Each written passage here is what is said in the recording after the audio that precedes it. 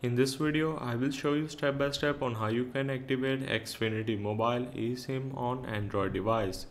So first of all, you need to make sure to purchase your eSIM plan, whatever you want to go with. Once you have purchased your eSIM plan, you will going to receive a QR code.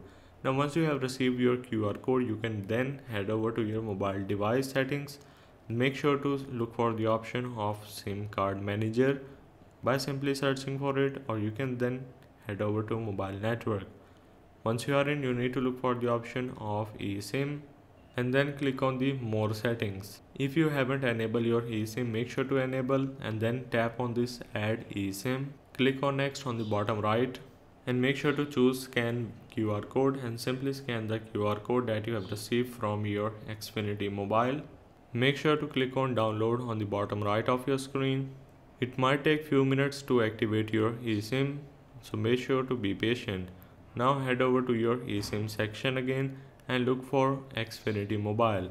Make sure to click on the three dots now and then click on the enable to enable your eSIM.